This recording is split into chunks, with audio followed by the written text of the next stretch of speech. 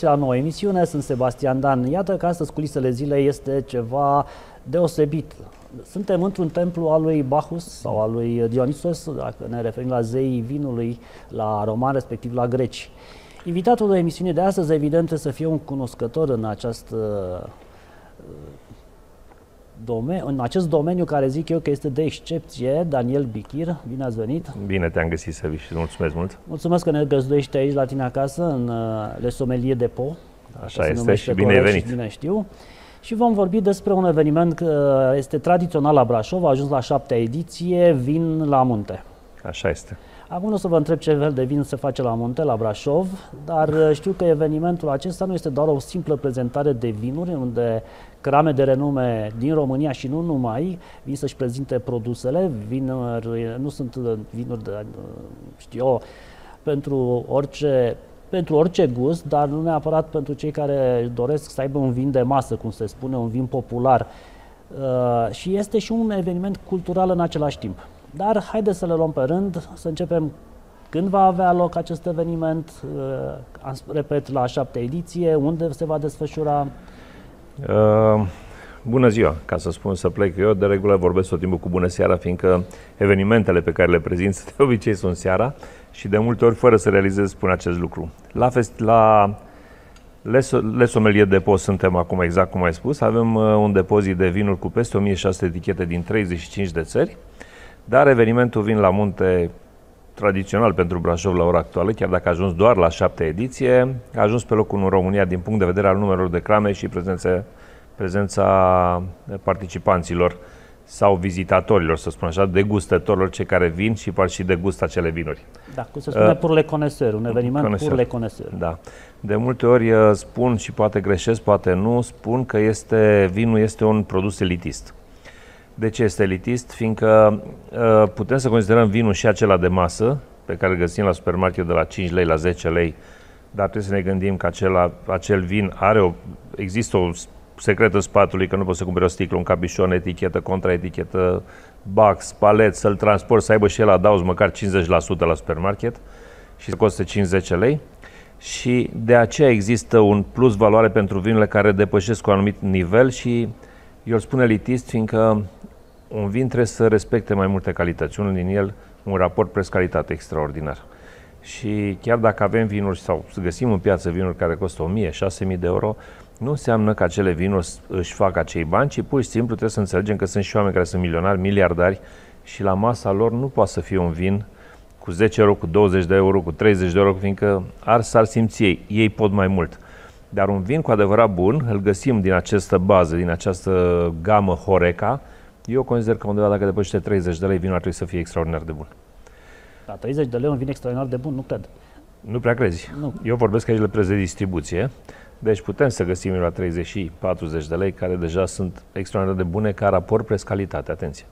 Dacă vorbim aici de vinuri care sunt foarte lucrate, au folosit baricuri extraordinar de bune, aici deja ne ducem cu prețul 80-120 de lei, cam acolo pleacă. Când ai folosit și o viță de, veche, o viță de vie veche, unde producția pe hectar e între 35 tone de strugure pe hectar. Când ai folosit niște baricuri extrem de scumpe, nu ai cum să-l scoți sub 200 de lei acel vin. Nu ai cum să scoți. Costul, de, costul lui de producție este acolo.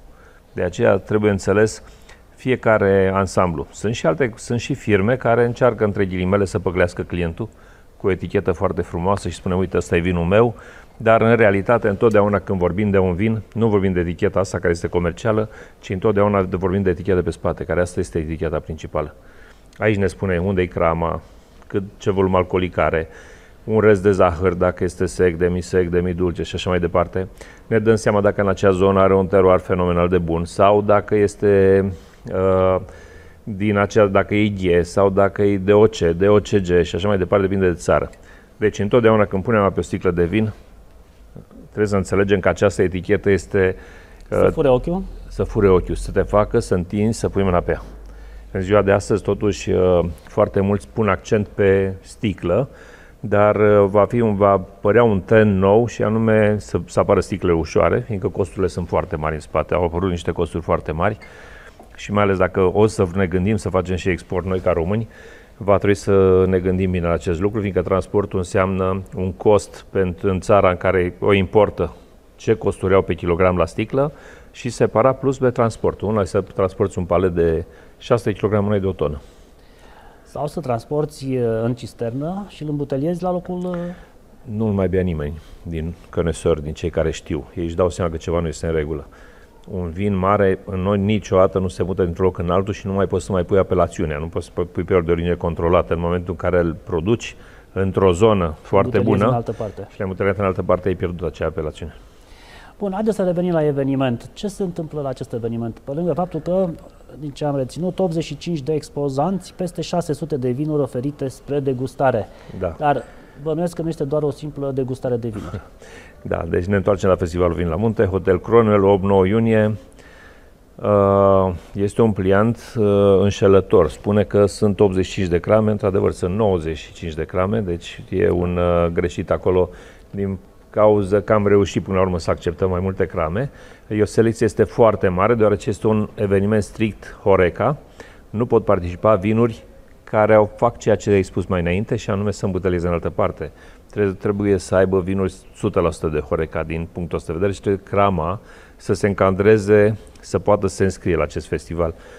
Am destui dușmani între ghilimele care au zis, da, și eu plătesc. Bun, plătești, dar du-te la un eveniment de vinuri care te acceptă, care acceptă vinurile de masă, vinurile simple, vinurile...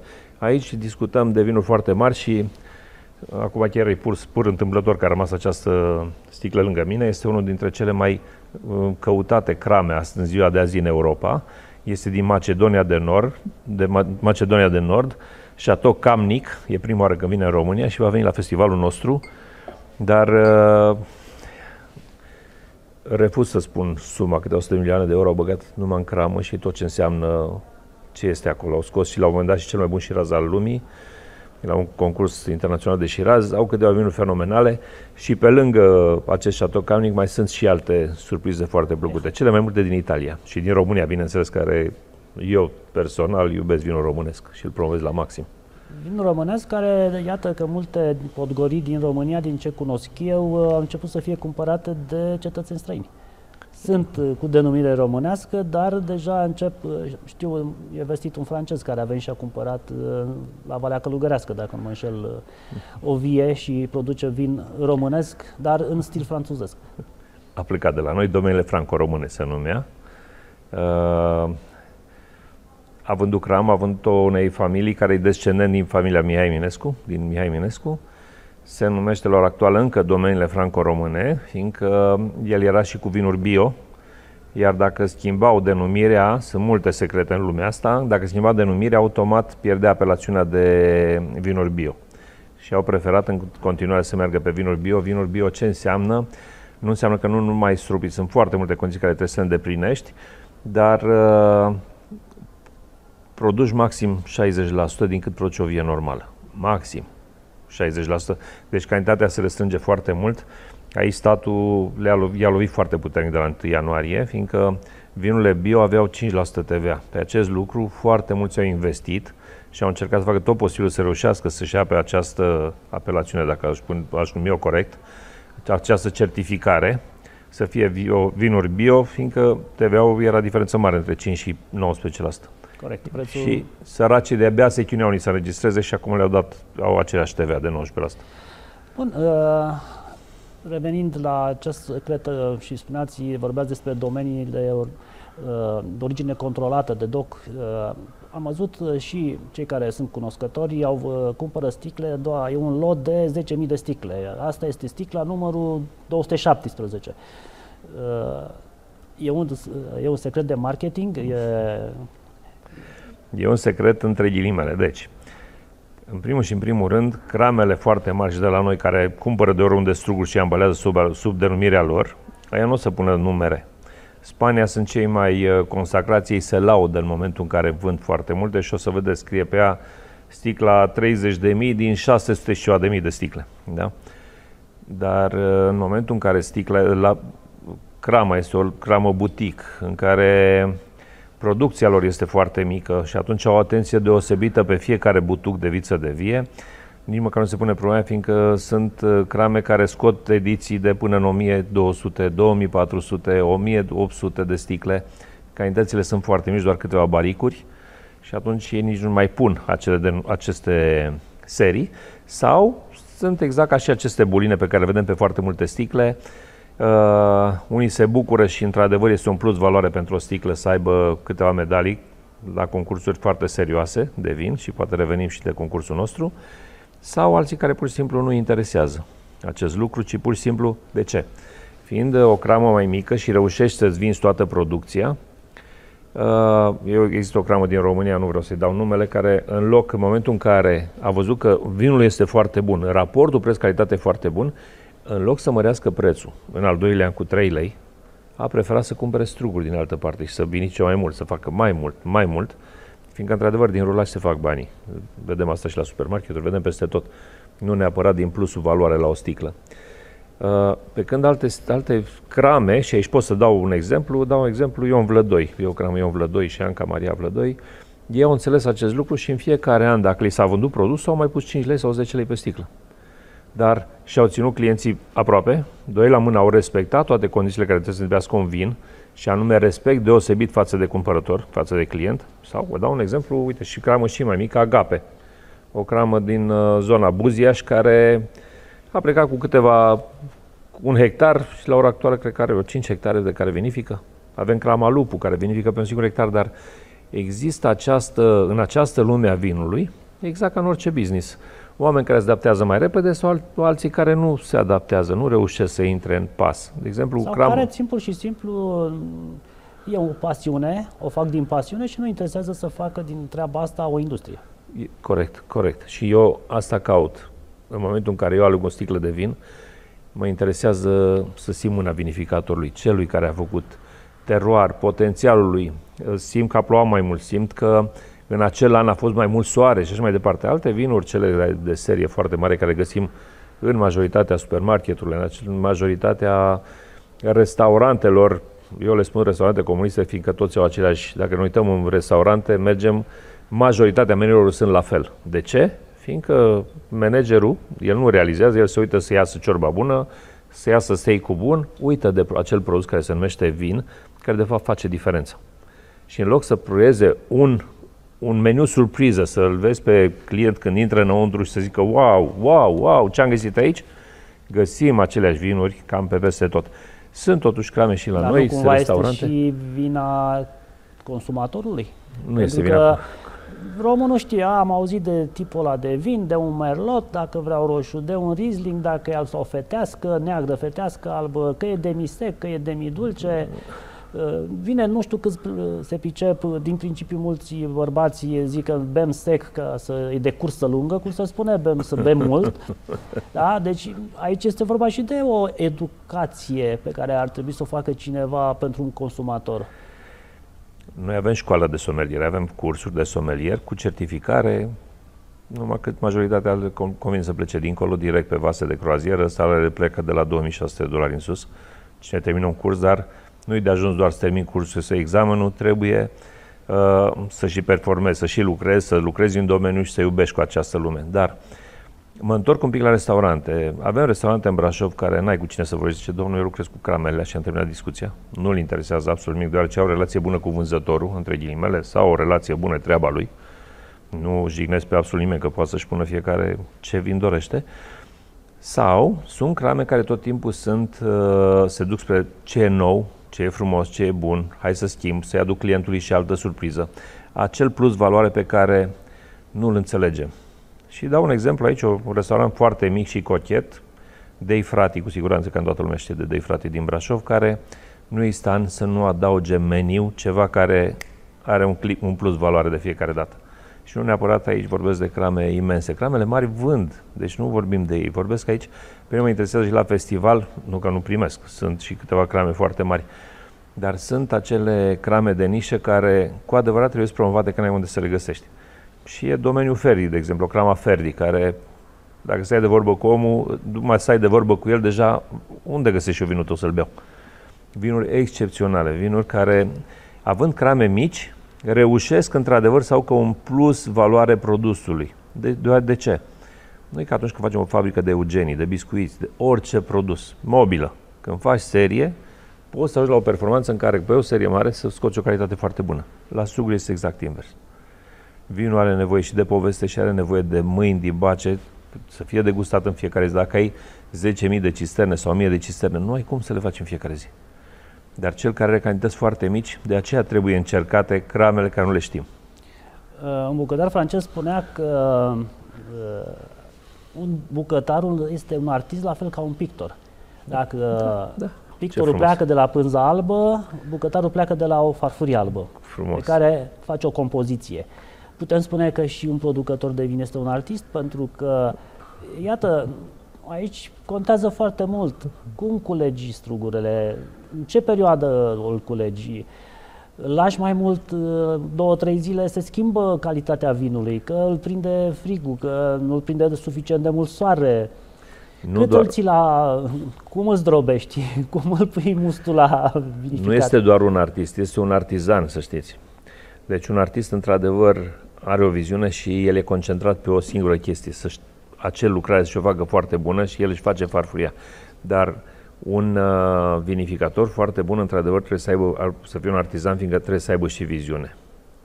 Trebuie să aibă viziune de viitor. Ce își dorește piața? Ce îmi doresc eu? Urmăresc linia mea, urmăresc linia pieții. Sunt crame care sunt uh, uh, conduse de către omul de vânzări. Și îi spune, bă, ce vine asta? Și asta îi spune, domnule, păi uite, am făcut studiat acolo, am studiat acolo, am studiat acolo, uite, seamănă vinul ăsta perfect cu vinurile de Franța unde am studiat eu. Vinurile sunt excepționale, au 2 grame de zahăr, au post-gust, uh, sunt foarte seci, sunt extraordinare. Ăstea se caută. Și vinificatorul, uh, vânzătorul, îi spune, ia vină tu și le vinde tu pe astea. Mie dă-mi unul cu rez de zahăr de 6 grame de zahăr, care se bea foarte ușor, care îl bea oricine. Dă-mi unul care să fie fructat, să aibă fruct în el, să fie... Nu, pe când un om care știe vinuri nu caută asta. Un om care, care știe vinuri, care a înțeles deja vinul, nu caută automat să-i bubuie nasul când a mirosit un par de vin alb, să-l dea la o parte. Dar, într-adevăr, sunt bune și acele vinuri pentru oamenii care intră, noi, tineri, care nu înțeleg acest lucru, acest produs, și atunci este bine să-l acomodezi până se învață. Altfel o să bea bere și n-au înțeles absolut nimic. Au băut bere și nu, pur și simplu, nu au, nu au acel uh, click și vedem lucrul ăsta în țările civilizate, în, în, și la noi, și în Cluj-Napoca, vezi unde sunt universități mai mari, două fete sau o fată și un băiat cu o sticlă de vin frumoasă în mână, în, pardon, față, în masă. față la masă, cu două pahare și poate să socializeze, să discute acolo și despre dragoste și despre universalitate și despre școală, despre orice, cu o singură sticlă de vin și cu două sticle de apă, au o seară fenomenală. Nu trebuie neapărat să iei bere, sau să iei un alt produs care se face industrial, ci pur și simplu să iei ceva și pentru organismul tău, Bun, pentru corpul și aici tău. apare o provocare. Berea are undeva la un 5-6% o bere, să zicem, uh, comună, indiferent de marcă. Da. Uh, vinul are un 12%. Ce facem? Uh, unde ajungem? Berea e mai slab, vinul îl bem șpriț, că așa suntem noi românii, sau îl bem sec, așa e regula, așa e norma. Cât de tare trebuie să fie vinul? Câte grade să aibă? Când mergem la un magazin, la un depozit de vinuri, ce facem? Căutăm eticheta care ne ia ochii, căutăm și cât de tare este vinul alcoolizat? Sebi, ne gândim în primul rând că nu, nu e un produs care l-am primit cadou. Dacă primim un produs cadou, dacă cel care l-a cumpărat știe că l-a luat pentru cadou, cel care recomandă ar trebui măcar să știe să-i dea un vin de masă, un vin pentru a fi servit la masă și anume vorbesc de un vin foarte bine lucrat. Asta înseamnă un volum alcoolic mai ridicat, da? Un vin care are nevoie probabil măcar de 30 de minute de aerare. Da? Dar dacă noi mergem la o petrecere, în iarbă verde, în câmpul, în, la o zi de naștere și el are o grădină și acolo mergem să socializăm, automat căutăm un vin cu un volum alcoolic cât mai mic posibil, că ideea este nu să duci acolo să te îmbeți. Ci pur și simplu, chiar dacă sunt la ora actuală vremelnic, sunt președintele Organizației din România, Uh, nu înseamnă că uh, sunt împotriva șprițului. Sunt de acord cu un șpriț pe o perioadă de vară, este vară și socializăm câteva ore, 4 ore, 3 ore, 6 ore la petrecere, la o...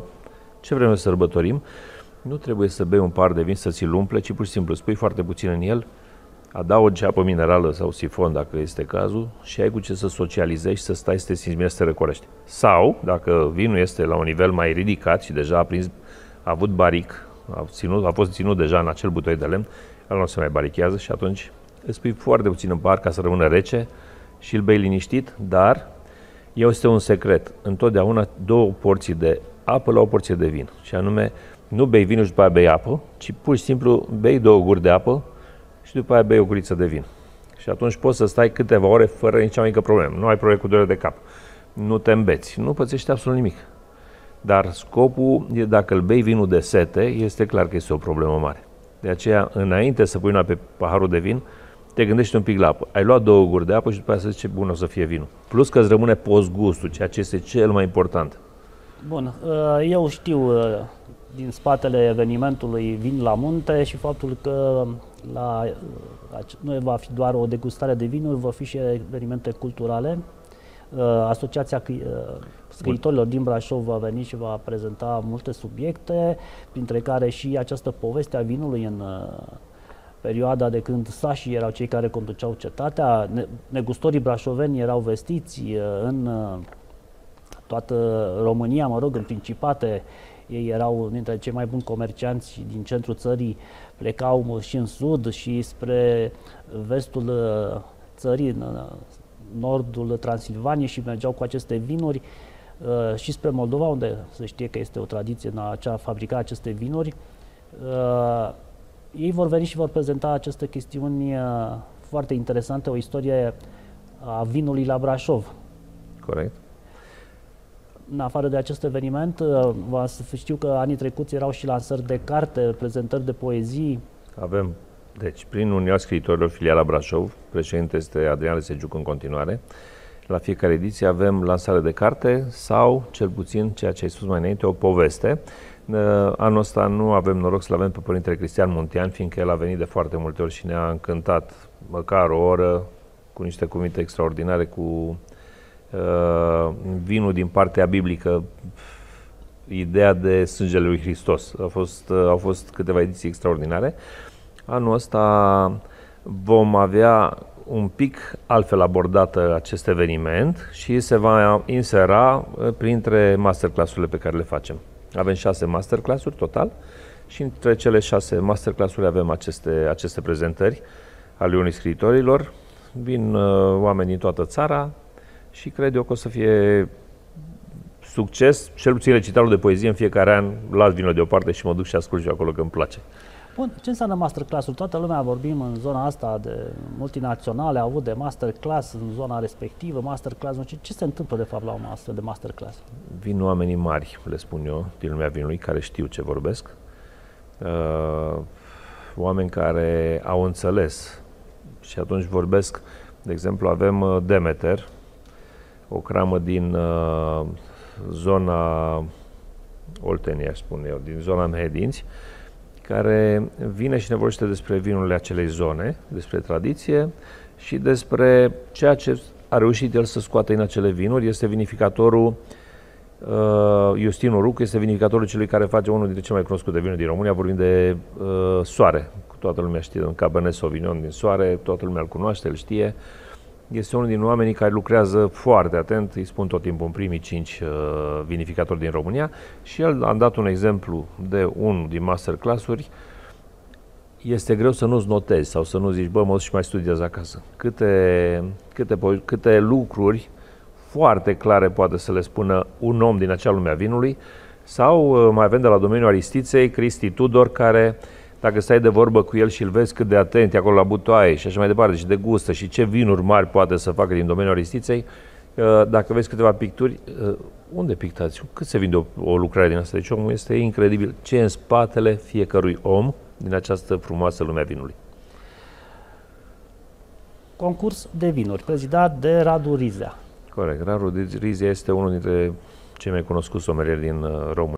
Uh, are și demnitate, are și are cam tot ce trebuie și am preferat ca acest concurs de vinuri să-l externalizez, fiindcă nu poți să le faci bine pe toate, n-ai cum să le faci, nu e nici timpul. El se ocupă, este... Avem prieteni, ai că vinul meu de anul ăsta e mai bun decât... Uh, ce bine, el e mai dur și atunci nimeni măcar nu are curaj să-i spună ceva, bă, mă ajută și pe mine. Uh, se desfășoară aici. O să avem undeva la vreo 500 de probe să vedem ce o să câștige, fiind un, uh, un uh, festival de vinuri cu vinuri numai de Horeca, media de premii este mai mare decât la un concurs normal. Deci la un concurs normal îți trimit toți orice. Aici nu ai cum să te încadrezi decât cu vinurile tale cele mai bune, după ce ai fost selectat deja din piață cu, dintre producători. Și automat, de-abia aștept să văd ce o să iasă. Mare medalie de aur, când vedem că scrie pe, un, uh, pe ceva mare medalie de aur, înseamnă că a câștigat, a luat, a câștigat cel puțin 92 de puncte. Și păi am avut și 9 etichete. Haideți să intrăm un pic și ce înseamnă acest concurs de vinuri. Că, uh, până la urmă, putem spune că este un concurs subiectiv. Nu? Cei care nu suntem profani nu ne pricepem. Da? E un nene care vine, gustă 15 pahare de vin, mi se pare lui după gustul lui că ăla e cel mai bun și votează pentru medalia, dă un punctaj maxim. Cum se face diferența? Sunt clase de vinuri, că acum nu bănuiesc că nu se amestecă vinul alb cu vinul roze, cu vinul roșu, vinurile dulci cu vinurile seci. Care sunt da. Uh, deci criteriile? principiul este în felul următor. Mai întâi noi adunăm vinurile aici. Sunt uh, cinci echipe care degustă de câte șase persoane în general. Și atunci uh, mai întâi se calibrează, degustă fiecare vinul enorm, nu se știu vinurile. Radu Rizi, acum că cineva vine cu o zi sau două înainte și sigilează probele, le sigilează, le numerotează, iar uh, cum le pune? Le pune de la cele albe uh, aromate până la cele neutre, de la cele roze în funcție de zone și așa mai departe, în așa fel încât să-i fie ușor de gust, uh, celui care intră în concurs, celui care face parte din juriu, să-i fie ușor să nu fie unul foarte aromat și după unul neutru, că atunci ți-ai pierdut, ți-a asupat din papile gustative și nu le mai înțelegi. Și se pleacă totdeauna de la vinurile neutre până la cele mai aromate. Din, pe baza soiului de struguri, producătorului, zonei și așa mai departe, se face un clasament, o, o ordine, pardon, și așa se trimit vinurile la comisii. Fiecare comisie trece pentru aspect, pentru culoare, pentru nas, pentru gust, pentru postgust. Se fac niște punctaje, iar la sfârșit se adună de la toate comisiile, se face un punctaj și pe baza acelor punctaje vinurile reușesc să intre sau să primească acele medalii și acele diplome.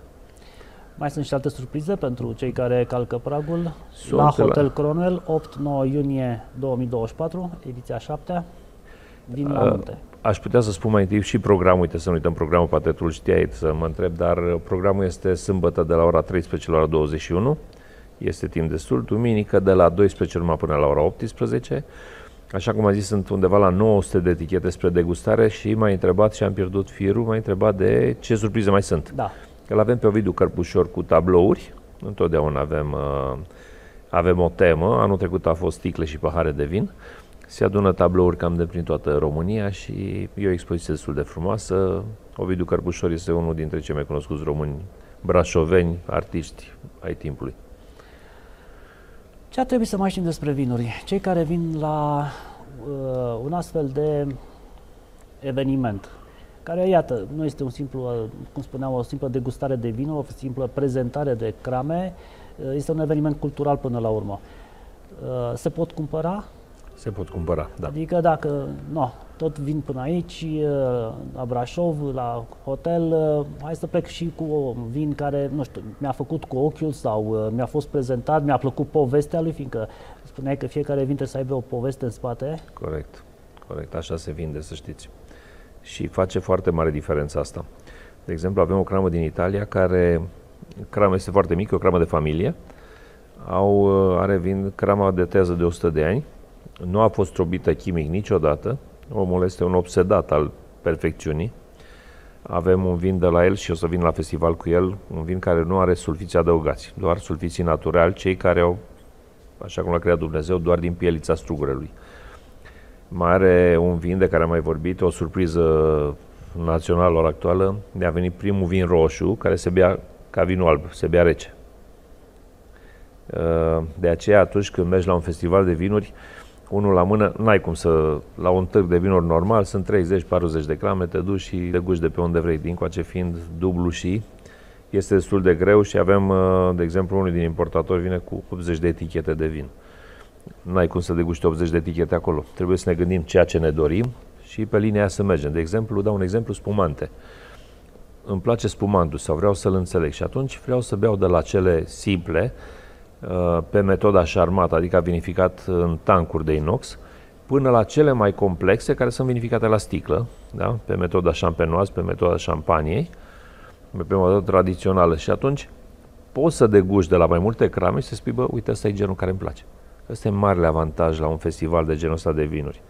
Fiindcă poți să ai niște surprize fenomenale, să spui, bă, eu nu beau de acolo, dar totuși să găsești lucruri care îți plac. Altfel, de unde să mai găsești? În afară de, noi facem aici cam două evenimente pe săptămână, două degustări pe săptămână și uh, sunt oameni ce, domnule, beau vin din ăsta, dar parcă aici e mai bun, sau a fost mai bun, sau la mai bun și nu mi-a plăcut.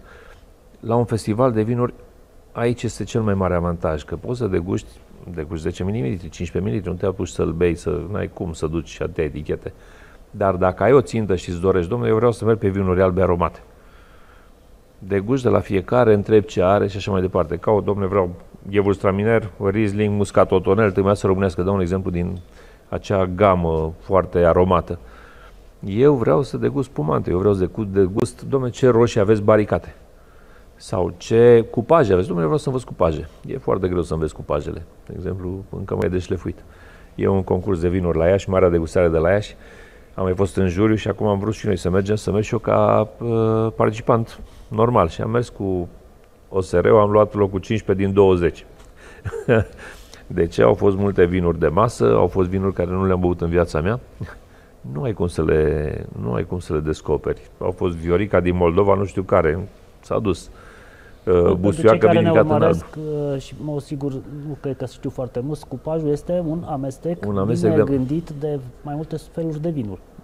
Da, din cupaj înseamnă că cel puțin două soiuri de vin sunt, sunt uh, cupajate, da. Și ele se pot, uh, ce se întâmplă, vinifică, se vinifică mai multe soiuri și uh, vinificatorul are șansa acum, își ia neprubetă și își notează. Am pus uh, 30 de ml de Cabernet Sauvignon, 30 de ml de Merlot, 30 de ml de Cabernet Franc, uh, 20 de ml de, de fetească neagră și face tot fel de combinații, le pune în pahar și la sfârșit începe din toată, dar trebuie să noteze, că dacă nu nota n-are nicio șansă să mai găsească. Le mai uh, și, și le notează și apoi uh, sunt 3, 5, 7 persoane care vinificatorului îi place, știe că au gusturi bune și atunci hai să vedem care e cel mai bun. Și atunci, uite, anul ăsta este cupaj. De exemplu, cel mai cunoscut cupaj din lume, cupajul de Bordeaux, Cabernet Sauvignon cu Merlot, să zicem. Domne, ăla e cel mai cunoscut. La noi îl avem Cramalicorna, care a scos cu Bon Viveur acum 2014, ediția 2014, a scos 95 de puncte la cel mai mare premiu care l-a obținut un vin românesc la acea oră. Cum stau vinurile românești pe piața internațională? Cum, uh, nu știm să vindem. Nu știm să vindem, dar vinurile sunt de calitate. Știu că aveam niște prieteni belgieni, niște parteneri de afaceri la un moment dat și când uh, veneau în România tot timpul își doreau, nu le fac reclamă, sunt eu din Prahova, feteasca uh, neagră, feteasca din, de Valea Călugărească. Da, fiindcă acolo au știut ei. Dar... Asta era vinul care la restaurant la Horeca, acesta a fost unul dintre vinurile roșii care le-a fost prezentat, ăsta le-a plăcut și au rămas când veneau în România, erau țintă pe acest tip de vin roșu. Da. La ultima ediție a școlii de somelier am făcut un... Uh, uh, au terminat cursul și acum aveam recapitulare. Am un somelier care chiar a lucrat inclusiv pentru Donald Trump, uh, să facem un pic o chestie interactivă și am scos uh, un vin și am zis ce e. Unii dintre ei au recunoscut, Sauvignon Blanc, alții nu, a scos al doilea vin. Iarăși doar vreo 2-3 au recunoscut, al treilea, șapte tipuri de Sauvignon Blanc, toate, cu excepția, pardon, unul a fost de la măsa de acolo, din Franța, Sanser, uh, șapte Sauvignon Blanc diferite complet. Este o, trăim într-o lume în care vinifică în diferit, temperatura e diferită, clonele sunt foarte diferite, dacă atunci când m-am apucat eu de vin, Doru Dumitrescu, un brașovean, m-a, m-a luat și m-a inițiat, uh, el era președinte la ASERE, la Asociația Somelelor din România, uh, degustai un vin și era Sauvignon Blanc, el știai, bă, ăsta e Sauvignon Blanc, n-ai cum să-l pierzi. Dar acum a ieșit Sauvignon Blanc de lume nouă, Sauvignon de lume veche, uh, unele baricate mai mult, unele ținute în salcâm, unele sunt e o diversitate, de aceea această lume niciodată nu pot să spui gata știu. Nu există. Eu am o fabrică de mobilă și pot să spun, da, știu cum să fac aia, știu cum să fac aia, știu cum să fac aia și acum și peste 10 ani. Dar apar tot timpul în lumea vinului este complet diferit și tocmai chestia asta face viața frumoasă. Eu vreau să vă mulțumesc, doamna și domnilor, Dan Bichir. Eu vă mulțumesc din suflet și chiar mă bucur că am participat alături de tine încă o dată la o emisiune frumoasă. 8 iunie, Hotel Cronwell, ediția 7 a evenimentului tradițional deja Vin la Munte. Vin la Munte, nu doar turiștii vin la munte, vin la munte, iată și reprezentații celor mai importante crame din România și nu numai din România, producătorii, reprezentanți Horeca unor crame internaționale. 95 de crame cu sute de titluri, le puteți vedea la Hotel Cronwell, 8-9 iunie 2024. Sunt Sebastian Dan, culisele zilei, toate cele bune!